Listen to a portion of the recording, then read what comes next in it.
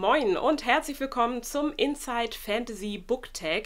Die liebe Franzi vom Kanal Tintenkrähe hat mich zu diesem Tag nominiert und bei Fantasy Buch Tags mache ich natürlich extrem gerne mit. Das ist natürlich mein Thema und die Fragen fand ich auch sehr, sehr spannend, sehr, sehr schwierig zum Teil, musste man lange drüber nachdenken. Die liebe Franzi und auch noch eine andere liebe Booktuberin hat auch diesen Tag begründet, also selbst erfunden. Der ist also niegelnagelneu und ich hoffe, dass sich dieser Tag dann auch schnell verbreitet. Ich fange jetzt an. Ich habe einiges vorbereitet, habe hier die Fragen und die Antworten notiert und einige Bücher natürlich auch rausgesucht. Die erste Frage: Facettenreichtum. In welchem Subgenre der Fantasy fühlst du dich am wohlsten?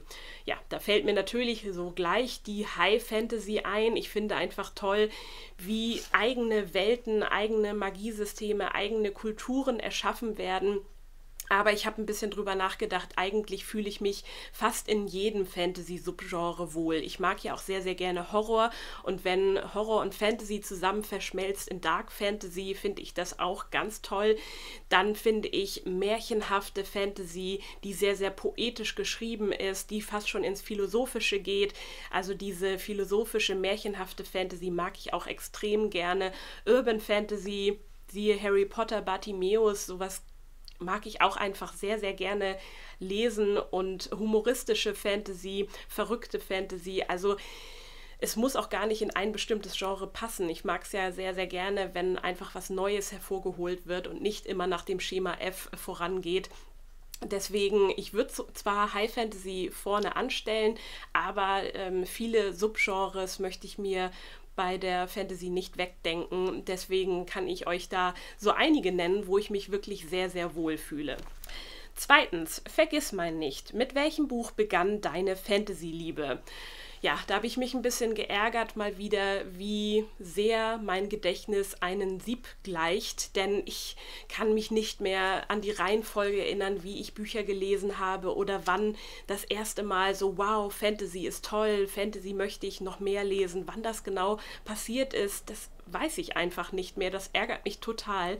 Aber ich bin natürlich so erstmal so ganz an die Anfänge gegangen und mir wurde eben auch viel vorgelesen als Kind und auch Geschichten erzählt. Und da möchte ich hier einmal die Märchen von den Gebrüdern Grimm hochzeigen. Das ist natürlich nicht die Ausgabe, wo mir früher äh, vorgelesen wurde. Das waren natürlich bebilderte Ausgaben, Bilderbücher mit Märchen.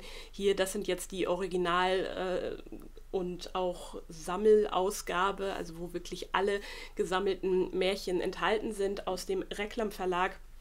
Aber ähm, ja, die Märchen haben da sicherlich ihr, ja, ihr Gutes beigetragen, dass ich das Fantastische und das Märchenhafte einfach sehr, sehr gerne mag. Dann habe ich eine Reihe gefunden. Wie gesagt, ich weiß nicht, ob das jetzt das Buch war, was ausschlaggebend war. Ich habe als Kind sehr, sehr viele Tier- und Pferdegeschichten gelesen, bevor ich dann so in diese Fantasy-Richtung ging, obwohl ja, Pferdegeschichten ja auch manchmal durch äh, Zauberkräfte oder Einhörner und so weiter auch magisch sein kann. Ich habe mich jetzt aber für eine ähm, Hexengeschichte entschieden, eine Hexenreihe. Und zwar ist das Witchet, Witches, Hexengirls, die Entdeckung der Kraft von H.B. Gilmore und Randy Reisfeld. Und die hat mir sehr, sehr gut gefallen. Das sind äh, zehn Bände insgesamt, aber als, ja, als Jugendliche oder als Teenie hatte ich nur die ersten paar Bände. Und das erzählt eben von ähm, ja, ein Zwillingspärchen, die als Babys getrennt worden sind und in ganz verschiedenen Umfelden aufgewachsen sind und sich dann irgendwann wieder treffen und feststellen, erstmal, dass sie überhaupt einen Zwilling haben und dass sie Hexen sind. Und es gibt viele Gegner, die ihnen etwas Böses wollen und es rankt sich eben auch eine Prophezeiung um sie und ja, dann erstmal zu erfahren, dass man adoptiert ist, eine Zwillingsschwester hat. Also es spielt in unserer Welt, hat aber trotzdem was sehr, sehr magisches, düsteres und mir hat die Beziehung und die Unterschiede zwischen den beiden total gut gefallen.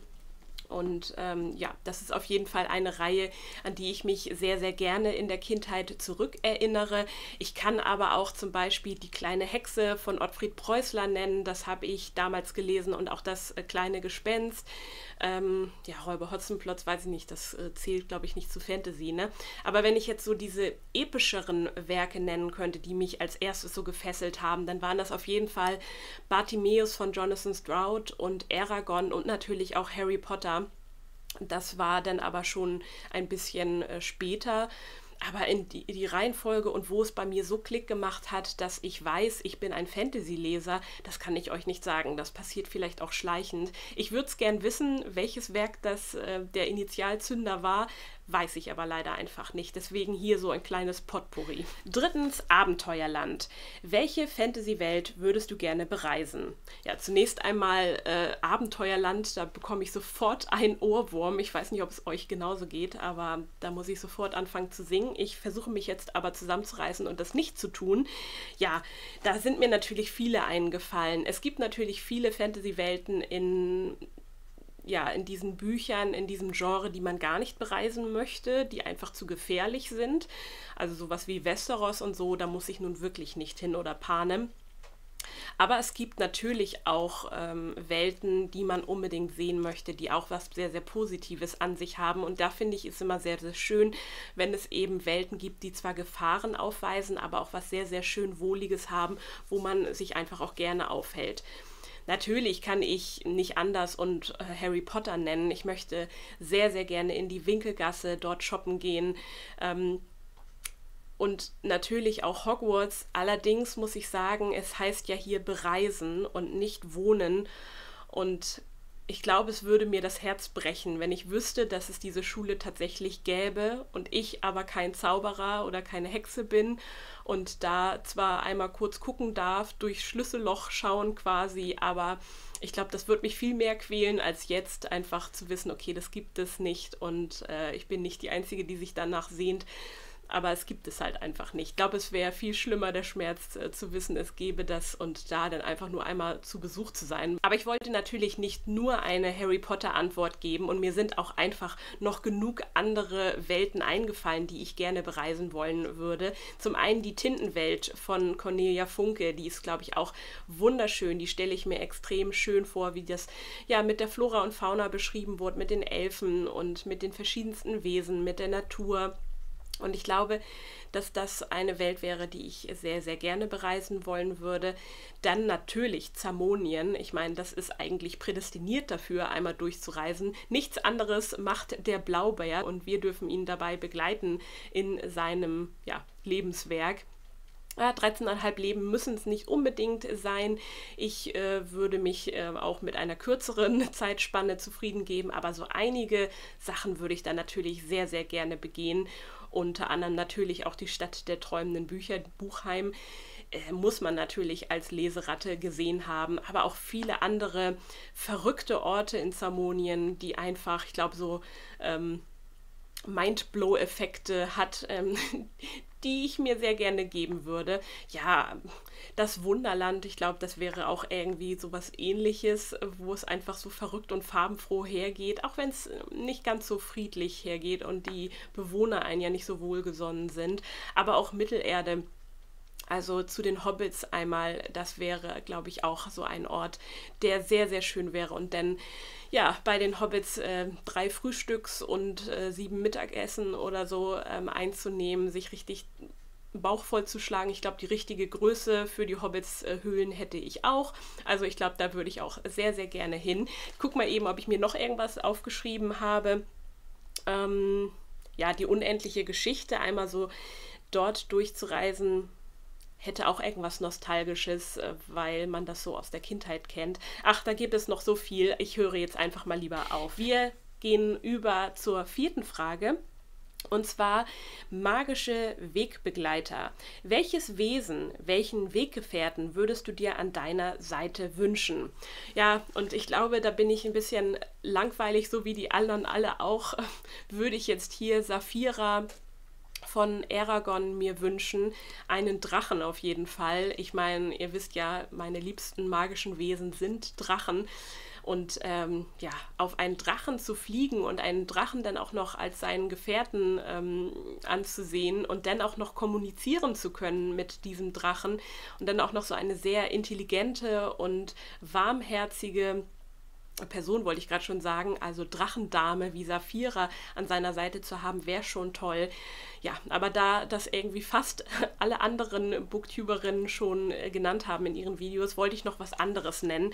Ich habe mich jetzt hier auch noch für Ximerius aus Rubinrot entschieden. Das ist der kleine Wasserspeier-Dämon, der äh, Gwendolyn die ganze Zeit folgt und immer seine blöden Kommentare abgibt und ja, für sehr, sehr viel Humor in diesem Buch sorgt und ich glaube, es könnte irgendwann ziemlich nervig werden, vor allem wenn man die Einzige ist, die diesen Dämon sieht und irgendwann äh, vielleicht aus heiterem Himmel irgendwie äh, vor Genervtheit platzt und die anderen denken, was ist mit der jetzt los?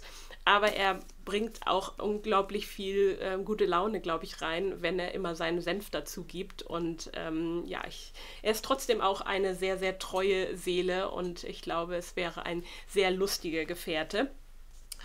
Und so ähnlich wie bei Saphira erging es mir hier in Der Bär und die Nachtigall von Catherine Arden.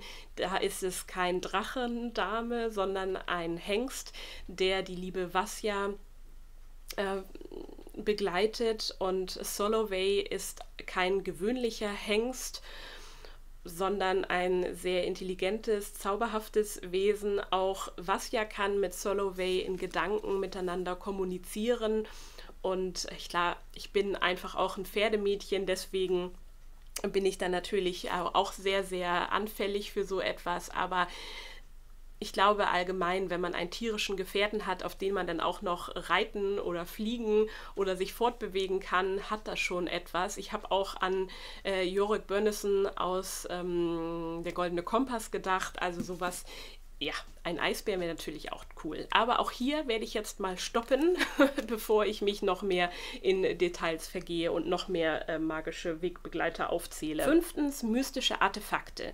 Welches magische Hilfsmittel möchtest du mal gerne ausprobieren und warum?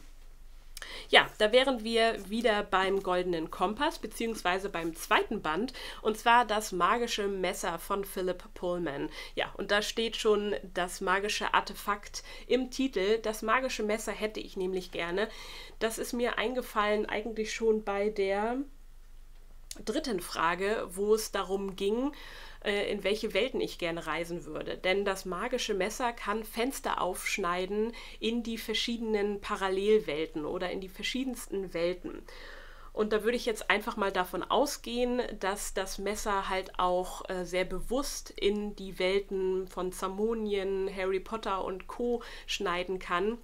Und ich würde jetzt einfach mal ausschließen, dass das irgendwelche Nebenwirkungen hat, wie es ja hier leider der Fall ist, äh, sondern dass ich einfach dieses Messer ähm, benutzen kann, immer wenn ich in eine andere Welt hinein möchte, aber auch wieder, wenn ich wieder nach Hause möchte. Und ja, das wäre ein Artefakt, was ich sehr, sehr gerne hätte. Äh, wie cool wäre das, die verschiedensten Reise, äh, ja, Welten zu bereisen zu können, aber doch immer wieder sich ein Fenster zurück in die eigene Welt schneiden zu können und sich dann ins eigene Bett zu legen, nachdem irgendwann genug Abenteuer war. Sechstens Zauberkräfte. Nenne eine außergewöhnliche und oder magische Fähigkeit, die du gerne beherrschen würdest. Ja, ich glaube, ich hätte schon gerne die Fähigkeit, zaubern zu können, wie Harry Potter, weil man dann einfach sehr, sehr viel machen kann und sehr, sehr viele Fähigkeiten hat. Aber das würde ich jetzt irgendwie fast ein bisschen langweilig finden. Deswegen habe ich mir auch überlegt, das gleiche hat auch die Julia vom Kanal Leseritter gesagt, sie würde sehr gerne mit Tieren kommunizieren können und das wäre für mich auch ein großer Wunsch. Ich liebe einfach Tiere und manchmal äh, finde ich sehr, sehr schade, dass man ihnen nicht in den Kopf gucken kann oder dass man ihnen nicht etwas sagen kann, dass sie einen nicht verstehen. Das finde ich manchmal sehr, sehr schade und das wäre natürlich toll, wenn man dann mit den äh, Tieren kommunizieren könnte. Und es wird sie natürlich noch zu engeren Gefährten machen. Dann hätte ich schon ganz gerne würde ich es schön finden, heilen zu können, auch wenn natürlich mit dieser Fähigkeit sehr, sehr viel Verantwortung einhergeht und man vielleicht darunter auch zerbrechen könnte, weil man dann denkt, oh Gott, ich könnte so viel leisten, ich muss dahin und ich muss dorthin. Aber alleine so in dem Umfeld, wenn irgendwas passiert, wenn irgendjemand krank wird oder so, da ja heilen zu können, da hätte man auf jeden Fall das Gefühl, etwas getan zu haben, etwas Gutes zu tun in der Welt, Sinn zu haben im Leben und ähm, ja, viele schlimme Sachen abwenden zu können, vielleicht auch. Und nochmal ein sehr, sehr mh, mm, ja, eigennützige, ein sehr eigennütziger Wunsch an einer Fähigkeit wäre es, fliegen zu können. Ich glaube, das ist irgendwie auch so ein Urwunsch der Menschheit, einfach von sich aus fliegen zu können, nicht mit irgendwelchen Hilfsmitteln. Das wäre schon auch ziemlich toll, glaube ich. Auch wenn ich nicht weiß, ob sich es irgendwann abnutzt, wenn man die ganze Zeit fliegen kann, dass es irgendwann auch normal und langweilig wird. Aber es wäre ähm, nicht nur toll und ein berauschendes Gefühl, sondern auch sehr, sehr praktisch, einfach über Staus und sonstige ähm, Sperrungen einfach hinwegfliegen zu können. Siebtens Kaffeekränzchen. Mit welchen Charakteren würdest du gerne mal einen Kaffee oder Tee trinken? Ja, bei mir wäre es auf jeden Fall eine Teestunde und da ist mir sofort natürlich der Hutmacher und der Märzhase eingefallen. Da würde ich mich sofort an deren verrückte Teetafel setzen. Und da würde ich aber noch ein paar andere Charaktere mit einladen. Und da habe ich mir einfach die verrücktesten und skurrilsten Figuren rausgesucht. Äh, zum einen möchte ich auf jeden Fall Dumbledore dabei haben und ich meine nicht den epischen, ernsthaften äh, Zauberer, sondern ich meine eher den Kindskopf in Dumbledore, der ähm, dabei sitzt. Ich finde ihn eh als Charakter extrem toll, einer meiner liebsten Charaktere aus Harry Potter, aber eben weil er auch so ein bisschen verrückt und selbstverliebt ist. Manche Momente finde ich einfach toll und da würden natürlich ganz viele Zitronenbonbons bei ihm auf den Tisch natürlich neben seinem Tee stehen. Dann hätte ich gern, auch wenn das nicht aus einem Fantasy-Buch ist, ähm, das Känguru aus den Känguru-Chroniken von Marc-Uwe Kling dabei. Freche Sprüche und ganz viel äh, politisches Gequatsche aber trotzdem mit sehr, sehr viel. Ähm, ich glaube, Marco Wickling hätte ich auch gerne dabei, damit ich nicht über diese politischen Dinge reden muss, sondern die einfach dann denen einfach zuhören kann. Ich glaube, ich wäre bei dieser Gesellschaft eh gar nicht so jemand, der sich daran beteiligen würde, sondern ich würde mich einfach hinsetzen und mich unterhalten lassen, weil das einfach so ein verrücktes Spektakel sein würde.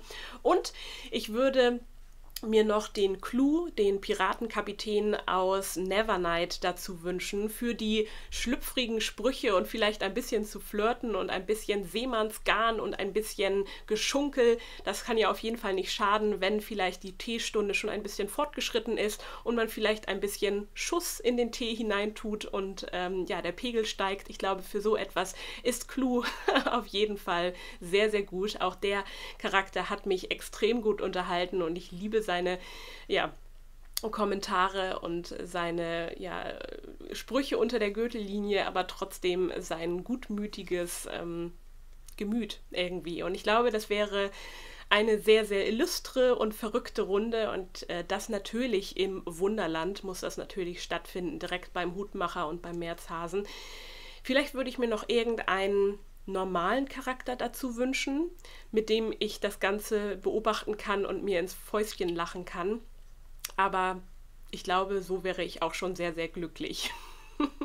sehr, ein, ja, eine sehr, sehr schöne Vorstellung. Achtens, vorauseilender Ruf. Mit welchem Charakter möchtest du dich lieber nicht anlegen?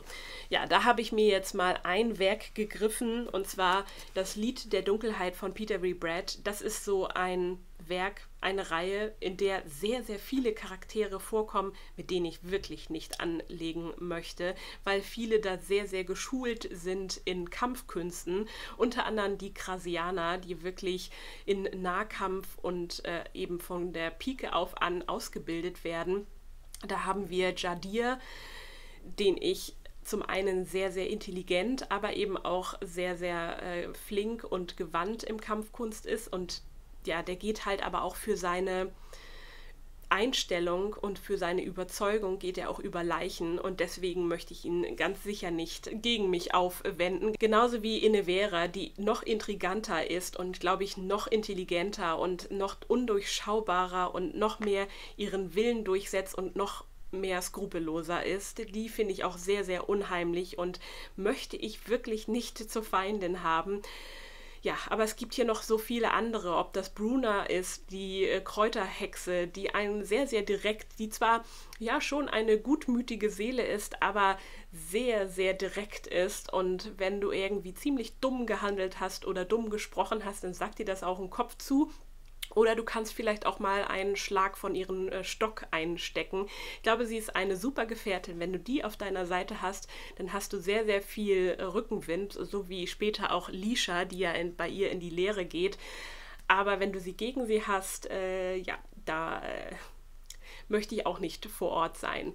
Ja, da gibt es einfach extrem viele in diesem Roman, die sehr, sehr starke, sehr, sehr stark körperlich, aber auch von dem inneren Werten, wollte ich schon sagen, von der Intelligenz, genauso wie auch Aban. Aban ist ja eigentlich körperlich sehr, sehr fett und verkrüppelt, also körperlich wäre der vielleicht nicht unbedingt ein großer Gegner, aber auch er spinnt sehr, sehr viele Intrigen und ist sehr belesen und auch er ist sehr auf seine Vorteile bedacht. Und deswegen möchte ich auch ihn nicht gegen mich aufwenden. Eigentlich möchte ich die lieber alle als Freunde haben. Neuntens Blockbuster. Dieses Buch würde sich gut als Film oder Serie eignen.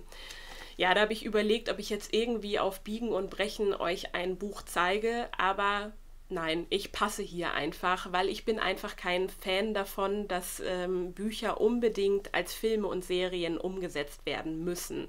Klar, wenn es tatsächlich passiert und ich diese Bücher sehr mochte, dann bin ich auch sehr neugierig und es kann auch durchaus erfolgreich sein und ich finde es dann vielleicht auch toll. Herr der Ringe und auch Game of Thrones und sowas sind wirklich eine Bereicherung. Aber ich bin eigentlich ein Fan davon, wenn auch die Filmemacher sich eventuell mal etwas Neues aussuchen. Und gerade wenn ich eine Buchreihe geliebt habe oder Bücher geliebt habe, dann finde ich es immer schade, wenn mir aus meinem Kopf die Fantasy-Welt, die ich mir aufgebaut habe, dadurch überschrieben wird durch den Film. Und ja, dass das auch ganz schnell nach hinten losgehen kann, das ist ja durchaus auch klar, dass einem da ziemlich viele Enttäuschungen aufgebürdet werden, siehe mm, der Goldene Kompass oder Aragon das ist nicht immer von Erfolg gekrönt. Und wie gesagt, ich brauche es auch nicht unbedingt. Ich kann mir, wenn ich Bücher lese, selber eine, ein visuelles Bild aufbauen. Und ich finde halt gerade in der Fantasy, wenn die Effekte und die fantastischen Elemente sehr, sehr schlecht umgesetzt werden, auch von den Effekten, und äh, von der Technik, dann kann das sehr schnell trashig werden. Und das kann es halt im, im Kopf nicht, weil im Kopf äh, hat man keine schlechten visuellen Effekte. Da stellt man sich das ordentlich vor. Und deswegen, ich brauche das nicht unbedingt. Ich bin zwar ein großer Serien- und Filmgucker und äh, mache das auch täglich sehr, sehr gerne auf Netflix.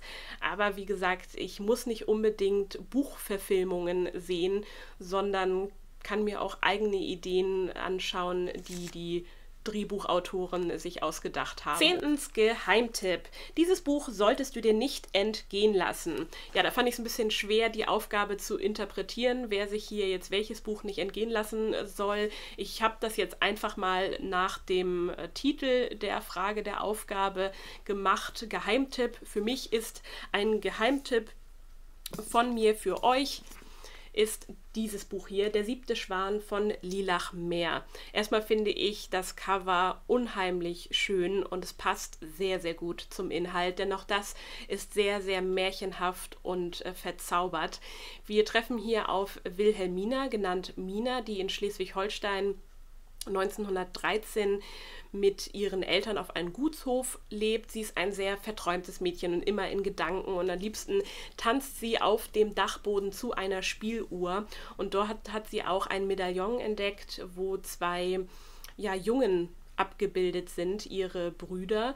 Und nachdem sie ein Gespräch belauscht ähm, von ihren Eltern zusammen mit einem sehr unheimlichen Arzt, flieht Mina in den Wald und zusammen mit ihrer Katze die ihr sagt, dass sie nach ihren Brüdern, nach den Jungen in dem Medaillon suchen soll, ähm, ja, geht sie halt auf Reisen. Und hier werden auch so ein bisschen die Sagen und Mythengestalten aus der, ja, aus der norddeutschen aus dem norddeutschen Raum eingeflochten. Das Ganze ist sehr, sehr ruhig und sehr still erzählt, hat aber auch eine wahnsinnige Melancholie und Tragik drin, besonders wenn man sie überlegt, was da alles so hintersteckt, eben auch so ein bisschen psychische Krankheiten oder angeblich psychische Krankheiten beleuchtet wird und auch ähm, ja, ein Schwanenmärchen hier so ein bisschen verarbeitet wird.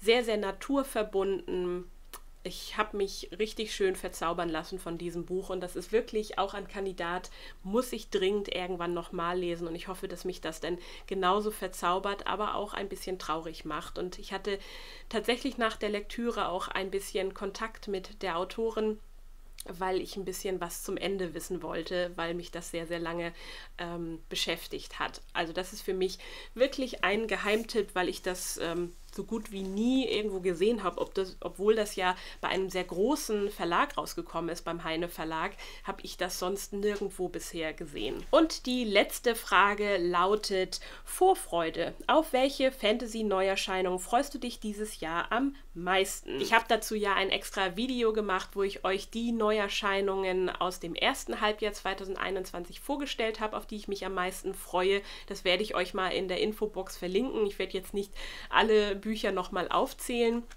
Ich habe jetzt aber ein Buch nochmal rausgesucht, was in der zweiten Hälfte erscheint. Das werde ich euch dann ja auch nochmal in ein extra Video zeigen. Die Bücher, die ähm, im, in der zweiten Hälfte des Jahres 2021 erscheinen und auf die ich mich sehr freue.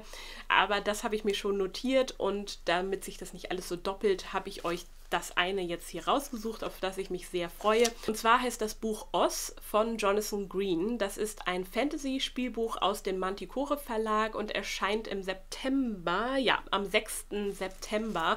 Und ich habe ja von Jonathan Green schon ein Spielebuch gelesen. Und zwar war das zu Alice im Wunderland. Und diesmal ist es eben zu der Welt von Oz.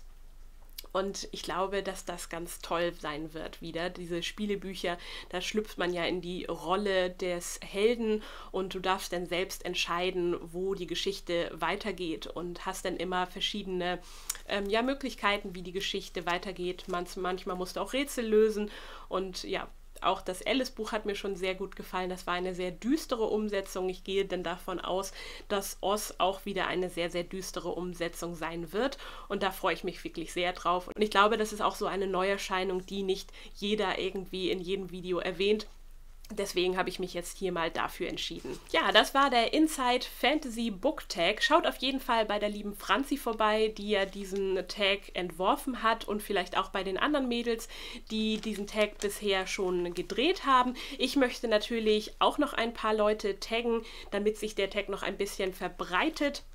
Und ich habe mir natürlich ein paar ausgesucht, die auch sehr, sehr gerne Fantasy lesen. Zum einen habe ich mir Kalis Books ausgesucht zum Nominieren, die Steffi vom Kanal Lady of the Books, Liliteratur und die liebe Karina Zacharias. Ja, ich hoffe, ihr habt Lust dabei mitzumachen und ich bin sehr gespannt, was ihr da für Antworten gebt. Also ich habe jetzt schon bei allen irgendwie gehört, dass da sehr, sehr lange drüber nachgedacht werden muss. Also es sind nicht so Fragen, die man mal eben eben so nebenbei beantwortet, was ich aber auch gerade interessant finde. Genauso würde es mich natürlich interessieren, wie ihr als Zuschauer die Aufgaben und Fragen beantwortet hättet. Also schreibt es gerne in die Kommentare. Wenn ihr nicht alle Fragen beantworten möchtet, dann sucht euch einfach ein, zwei, drei aus, die euch besonders interessieren. Und ja, ich freue mich auf eure Kommentare. Und jetzt wünsche ich euch natürlich noch eine schöne lesereiche Zeit und wenn ihr wollt, sehen wir uns im nächsten Video. Macht's gut. Ciao, ciao.